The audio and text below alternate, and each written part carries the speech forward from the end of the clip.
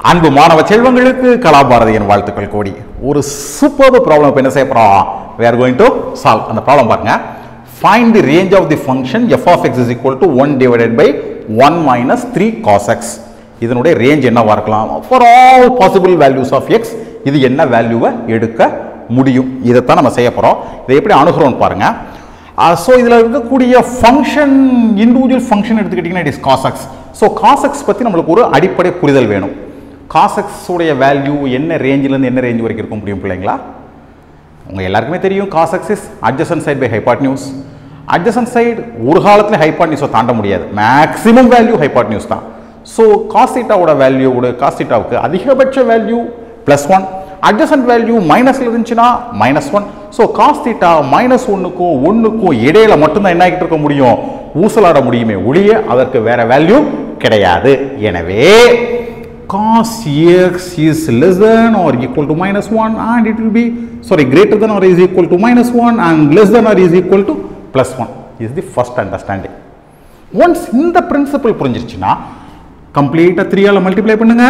Then minus three less than or is equal to three cos X less than or equal to three த்ரோட்டை த்ரீயால் பிரிக்கிருக்கோம் அவ்வளோதான் so எந்த இன்இக்வாலிட்டியில் எந்த மாற்றம் வராது.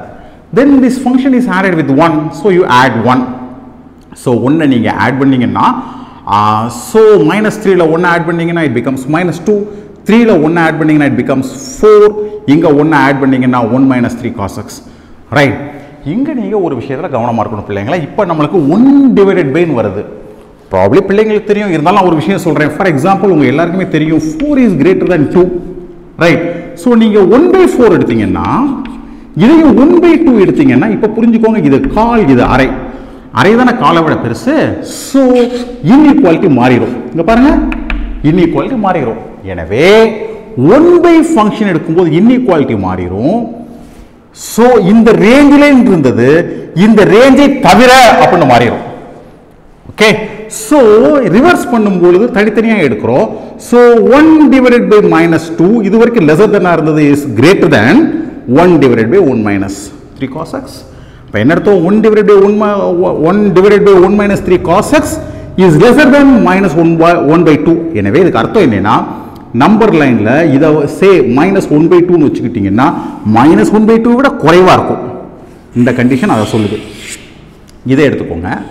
இதை எடுத்துக்கிட்டிங்கன்னா one minus three cos X is less than one by four so one by four எடுத்தீங்கன்னா one divided by one minus three cos X is greater than ஒரு equal to one by four இதுக்கு என்ன பொருள்? சரி இதுதான் one by ஃபோர்னு வச்சுக்கிட்டிங்கன்னா one by ஃபோரை விட அதிகமாக இருக்கும். ரேஞ்ச் இந்த இடத்துல என்ன இருக்க முடியாது? ரேஞ்சு இருக்க முடியாது. ரேஞ்ச் இங்கே இருக்கும் இல்லை இங்கே இருக்கும். இதை மேத்தமெட்டிக்கல் நோட்டேஷனில் எழுதணும். So range is minus infinity to minus one by two பாருங்க பிள்ளைங்களா திஸ் இஸ் மைனஸ் இன்ஃபினிட்டிங்கிறதுனால ஓப்பன் இன்டர்வல் போட்டிருக்கேன். மைனஸ் ஒன் பை டூங்கிறதுனால க்ளோஸ் இன்டர்வல் போட்டிருக்கேன். யூனியன் ஒன் பை ஃபோர் பாருங்க க்ளோஸ்ட் இன்டர்வல் போட்டிருக்கேன். Oh, சாரி பிள்ளைங்களா.